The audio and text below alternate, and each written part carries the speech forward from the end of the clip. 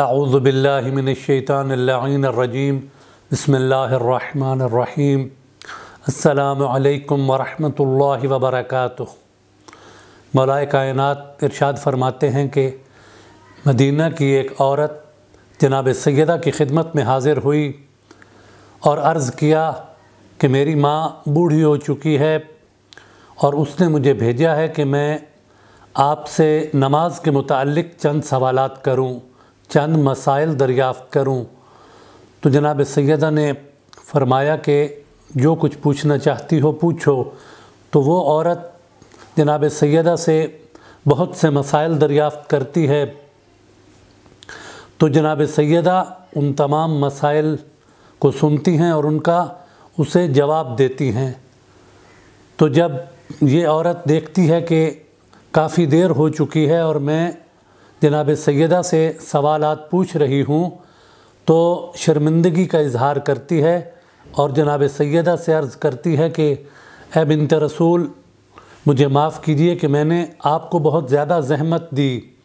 तो जनाब सैदा ने उसके जवाब में फ़रमाया कि, आओ और मुझसे जो पूछना चाहती हो पूछो।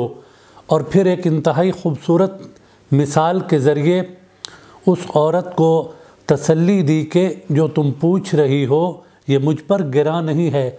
जनाब सैदा ने उसे फरमाया कि अगर कोई शख्स एक मज़दूर अपने घर में लेके आए और उसे कहे कि ये भारी बोझ तुमने छत तक पहुंचाना है और उसके इवज़ एक दिन में मैं तुम्हें एक लाख दीनार दूँगा तो जनाब सैदा फरमाती हैं कि क्या ये बोझ जो, वो छत पर लेके जा रहा है मज़दूर, ये उसके लिए गरा होगा।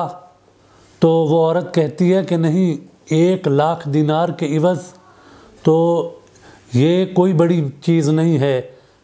अब देखें कि एक दिनार की आजकल क्या कीमत बनती है।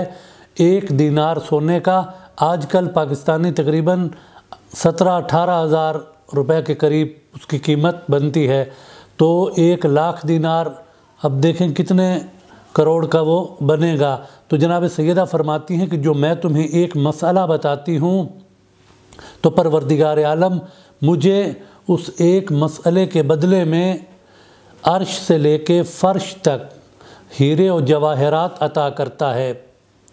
तो जब मुझे परवरदिगार आलम इतना अजर अता करता है तो आया मुझे इन मसाइल का जवाब देना मुझ पर ग्रां होगा। तो वो औरत कहती है कि नहीं तो जनाब सैदा ने एक बहुत बड़ी चीज़, एक बहुत बड़ा सबक हमें अपनी इस हदीस के ज़रिए दिया कि जो मसाइल और ख़सूस ऐसे मसाइल के जो दीन के साथ ताल्लुक़ रखते हों, उनका लोगों तक पहुँचाना उसका क्या अजर सवाब है। इसी तरह एक और रिवायत है कि एक ख़ातून तशरीफ़ लाती हैं जनाब सगीरा के पास और अर्ज़ करती हैं कि मुझे अल्लाह के रसूल की कोई एक हदीस लिखी हुई दे। तो जनाब सैदा जनाब फ़िज़ा से कहती हैं कि फ़लाँ जगह पर एक हदीस लिखी हुई पड़ी है, वो ले आए। जनाब फ़िज़ा जाती हैं और पलट कर आती हैं तो फरमाती हैं कि वो हदीस वहाँ पर मौजूद नहीं है।